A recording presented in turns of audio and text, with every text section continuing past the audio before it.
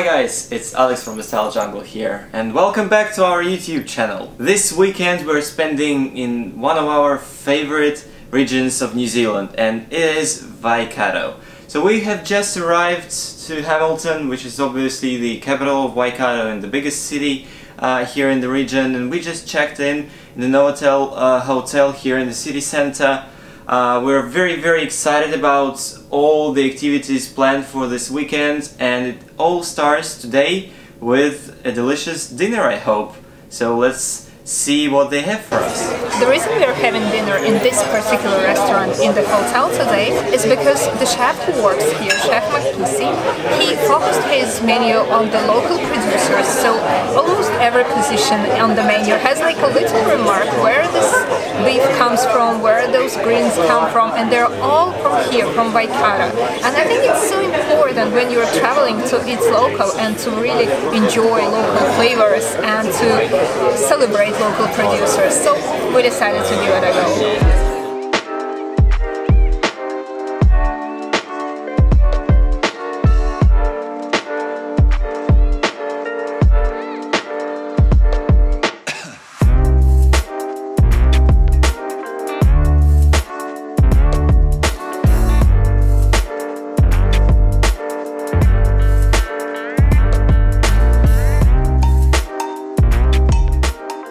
So it's Saturday morning and what is the best way to start this Saturday than to go to Hamilton Gardens. Of course Hamilton Gardens is one of the most popular attractions here in Hamilton and one of the um, most known uh, locations in the whole Waikato region. It is as well one of our favorite places to come because first of all this is just beautiful collection of different gardens. Of course they are uh, themed as well. So you can find Italian garden here or Renaissance garden or like Alice in Wonderland themed garden. So uh, it's uh, quite a lot of stuff uh, packed here. And uh, it's so diverse that you basically can create any kind of content here because uh, yeah if you want to uh, you know have Italian kind of background uh, for your picture you don't need to travel to Italy because you can come here and uh, shoot it here. So it's it's very uh, handy as well. Now we're at that part of the gardens we have actually never been to. This is the huge rose garden and it's absolutely beautiful. We are now at the very beginning of the period when uh, roses are blossoming. So it's a perfect time to come here uh, actually in November um, to see all this beauty of the nature. So it's very very exciting guys and uh, this is just our first stop. We have a lot of things planned for this weekend so I hope you uh, can stay with us uh, for the whole video and see what we have for you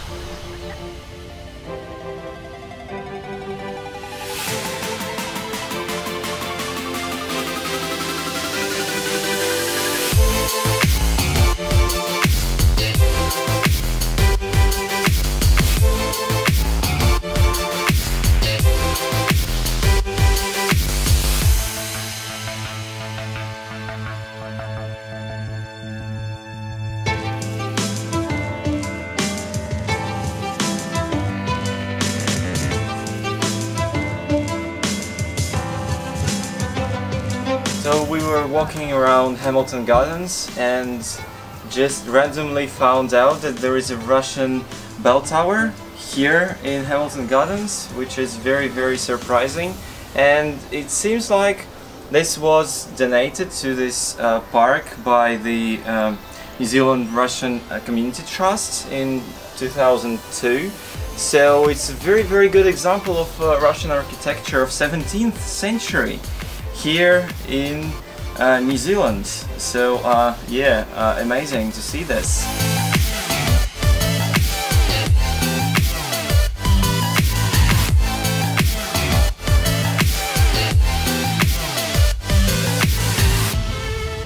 We have arrived to Hamilton Zoo. We haven't been in a zoo for quite a while because a lot of really dreadful things can be happening in a zoo with animals who are kept in captivity but we have read a lot about New Zealand zoos and all the conservation projects they are participating in and how they're helping endangered animals to survive and to breed here. So we were really curious to find out how do animals live here are they safe? Are they happy? And what I love about Hamilton Zoo is that you can talk to zookeepers here. There are face-to-face encounters where you learn a lot about animals and how they help them to survive. So I hope I will be able to ask a few questions and to find out really can zoos be ethical or is it still something that should belong to historic books? For a face-to-face -face encounter with animals who live here, you have to pay extra $25 but part of this money goes to various conservation projects that Hamilton Zoo is participating in. So by meeting the animals, you're not only having fun, but you're also actually helping them which I find is really great. I was reading on their website yesterday that this white rhino that is here, they're like near threatened, so there are not a lot of species, but it's not critically endangered animal, though there are other rhinos that are critically endangered and there is actually a huge success story of how there were only a hundred rhinos of that type left all over the world and due to the efforts made by zoos in different countries there are now over 20,000 rhinos of that type and they're also they went from critically endangered to near threatened ones and I think it's one of the bonuses of why zoos should exist. Do they miss the wild when they are in the Hard to tell. I mean, all his needs are catered for. He's got females, um, yeah. and he's extremely relaxed considering the things he's seen in his life. Yeah. Like obviously, 20 years ago, zoos were quite different places. So having gone from not seeing a door or a human, let alone a plane, um, his demeanour is ex extremely good. It's calm, so I think that indicates he's doing alright. But obviously, we prefer them all in the wild. But we have learned that friendly encounter here in Hamilton Zoo only happens if animals want that. For example, with rhinos, if he or she doesn't go inside the house where people are waiting for them or just suddenly decides to leave, the friendly encounter stops, so they are never forced to do that. And also I have asked whether it's stressful for them when people touch them because obviously it's not something they experience in the wild. But um, in this particular case with rhinos, that's fine unless you touch them around the face, so that's a no-no, you don't do that. But if it's somewhere else around the body and you're like really careful and slow, they don't care, they're relaxed and they said that they're here, they're not stressed, they're happy, they're playful and yeah, overall well kept after animals.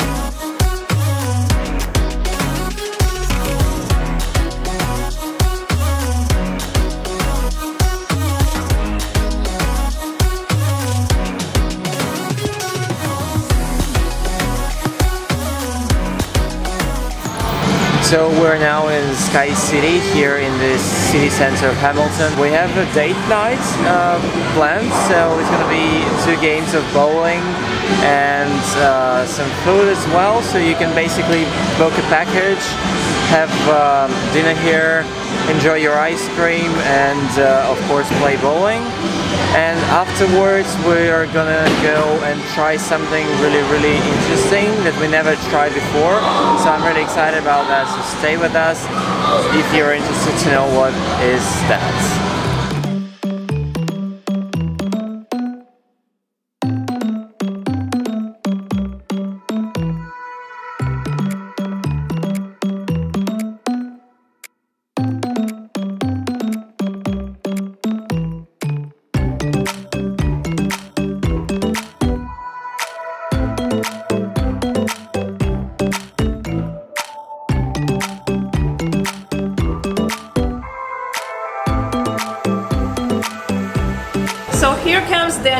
We're gonna be playing golf.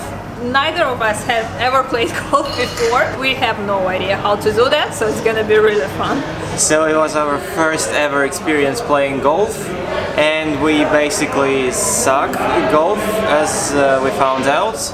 Uh, I guess because no one really explained us uh, what to do and we actually had to figure it out ourselves.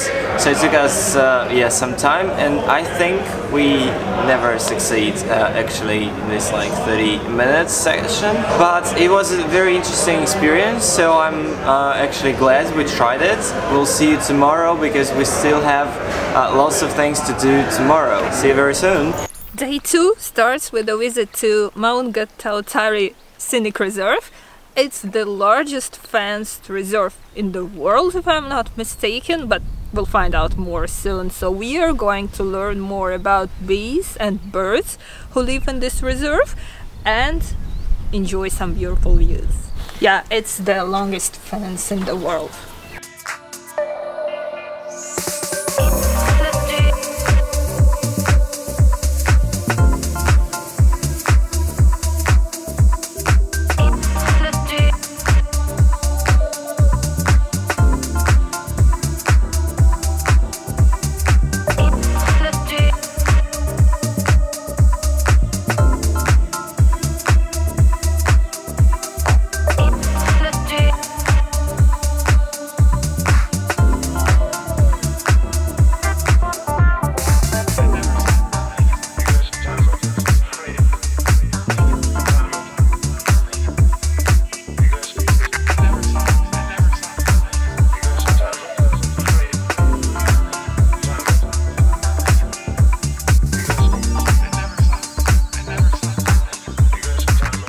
So there is a variety of uh, walking tracks here, taking from uh, five minutes up to actually several hours. So you can pick the one you want and uh, basically spend like a whole day here. Uh, there are benches everywhere, so you can have lunch uh, here as well. And one of the most fascinating things you can do here is to see kaka, which is New Zealand parrot. There's a feeding spot uh, near the tower so you can basically sit down and wait for kaka to come there. Uh, they really like sweetened water, so uh, they come very very close and they're not really afraid of people. So uh, you can take really uh, good pictures and see them uh, very very close, which is absolutely fantastic. So it definitely made our day already, and now we are very excited to go and do some kayaking. This is not uh, what we actually usually do. Um, we have some experience in kayaking, but not a lot. So it's very, very interesting to try uh, it once again. We're at Lake Karapiro. So they have Lake District Adventures over here. You can either rent a kayak or a bike and enjoy the views of the lake either from water or from the earth, whatever you prefer. We have chosen water today.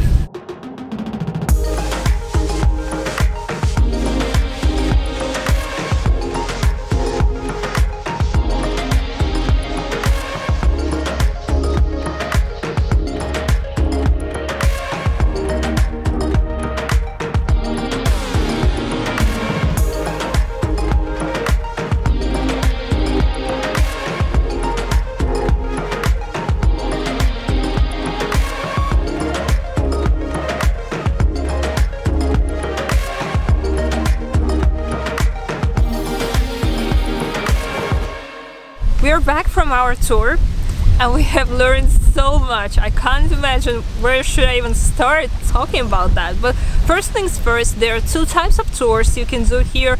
A day tour, like the one we did, or the evening tour if you want to see glowworms. I'm sure you have already seen how beautiful it is down in the canyon with beautiful walls and that's where the glowworms are. So if you want something really special, evening tour, is an amazing idea. But overall it's such a great experience. And the river is so tranquil and so quiet and there are like no people at all. So even if you don't have any experience in kayaking you will do great here. And if you don't do great they can even tell you. So basically you don't have to do anything. But yeah, it's very easy, but it's so enjoyable. I, I can't express all my emotions right now. We really, really love this tour, and it's so nice because the group is really small. Like our group was two people, but normally they don't go above 24 people, and it's only in high summer season, obviously. So you get to ask questions, you chat to other people, you chat to your guides, and it's really like a family type kind of activity, and it's really yeah, getting up close and personal with the nature, it's so special. So guys, that's about it for this weekend. It was absolutely amazing. It was very, very diverse in terms of experiences we had. I hope you enjoyed watching this video. Uh, if you did, just make sure to click on the thumbs up button and subscribe to our channel to support us and if you want to see more videos like this one uh, make sure to click on the pop-up banner over here to see some more New Zealand travel videos and we will see you guys in our next vlog or video. See ya. Bye bye